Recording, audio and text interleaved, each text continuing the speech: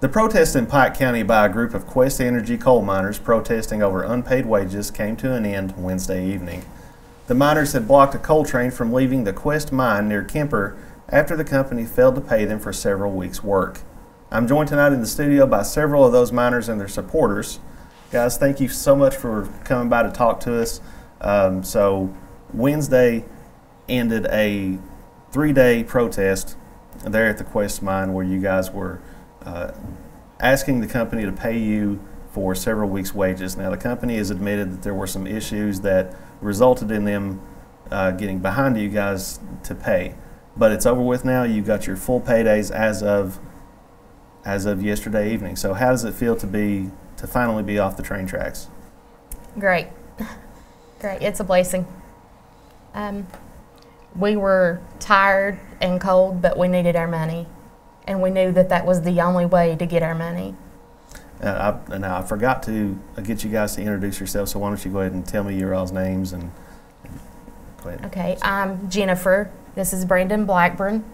This is Dylan Davidson, Justin Hunt, and Dusty Maynard. Okay, so all these guys are uh, either current or former Quest Energy coal miners.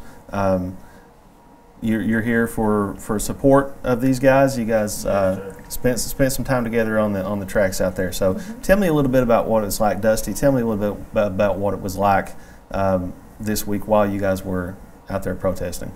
It just cold and wet. you know, uh, by no by any means we didn't want to do that, but in order to get paid, it seemed like it's all we had left to do. I mean, you know, uh, one day late, three days late, a week late. And You get two and three weeks late, it, it's pretty rough, especially when, you know, most people are on a payday to payday ba- basis, either one, uh, each week or bi-weekly, you know. Uh, so it is pretty rough, and I mean, I hated to do that. Didn't want to do that, but I had to. I had to get paid, and thankfully, we got paid. And I want to thank everybody in the community and, and everyone that helped us. And, I mean, I actually want to thank the mines for paying us. You know, uh, I hope that we can get all this behind us. Uh, Go back to work. yeah. Yeah. So. Go back to work like this never happened because, like Dusty said, we didn't want to do this. We just wanted what was rightfully ours that we'd work between two rocks to provide fam- to provide for our families. You know, because at the end of the day, every man here standing, they don't go there because they want to. They don't go there because because they have to. They go there because they want to make a living in eastern Kentucky to support their families, and that's the best paying job that most of us know how to do. Um, you know, we just wanted, we didn't want no handouts from nobody. We wanted what we was rightfully entitled to. Because, you know, every man here in this room is proud to work in the mines because it is a dying industry. And you know, this generation standing right here in this building is probably going to be the last generation of real coal miners because uh, these companies don't want to teach nobody nothing. And after after we're gone, I don't know what the younger generation's going to do. But it makes me proud to be to be able to say that I worked in these hills for 15 years. And in that 15 years, I have never, never even thought about it, doing something like this to get paid.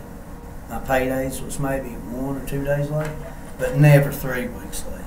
Let's talk a little bit about what it was like yesterday whenever those paydays finally came through. Jennifer, tell me a little bit about uh, whenever you guys were sitting around waiting for for that money to finally be deposited into your account, and then all of a sudden it's there. What was that like? Um, everybody kept checking. The Paycheck Stub app is entirely different than what the bank account is. Every man's paid direct deposit.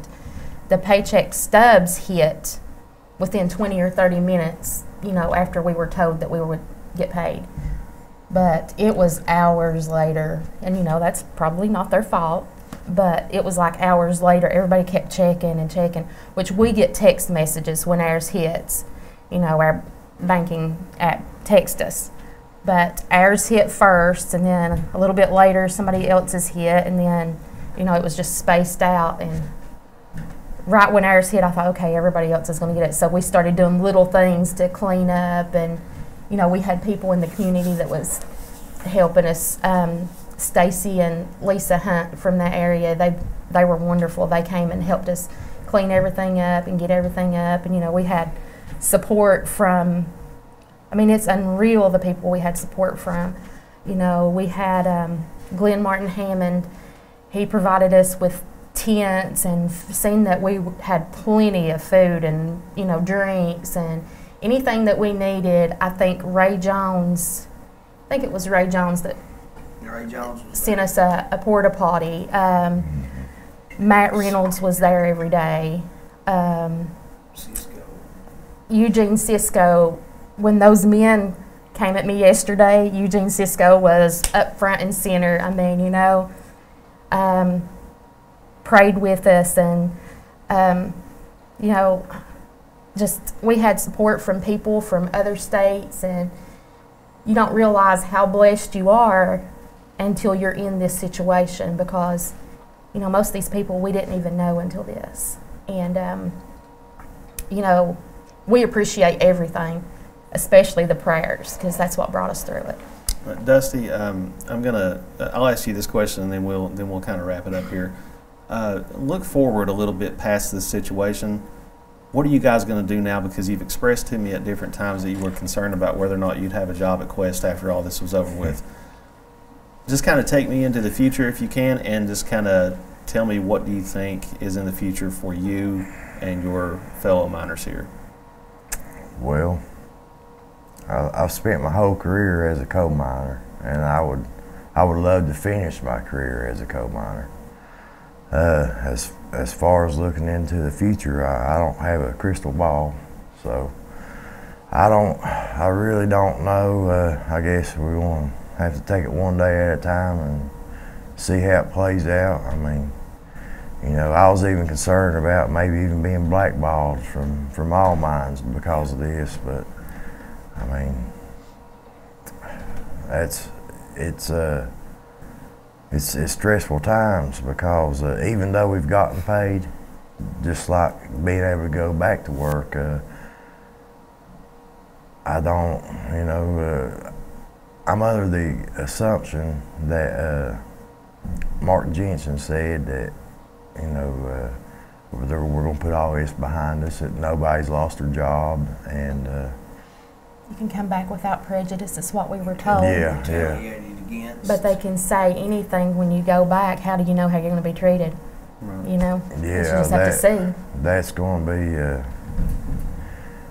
that's that, that- that's going to be probably just as, if not more, stressful than getting our pay. So I guess it's going to be a, a long road. Uh, so I don't know. Uh, I think I, I think I speak for all of our folks out there that are watching. Um, we wish you guys the best, and we're glad that you guys got paid. And uh, you've got a lot of people that have been praying for you.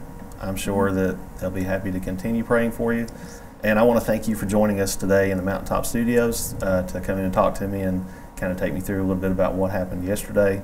Now, that uh, train that was famously blocked by this group of miners uh, remains at the Quest Energy mine in Pike County right now. Uh, CSX indicated that they plan to they planned to move it out either Thursday evening or soon thereafter.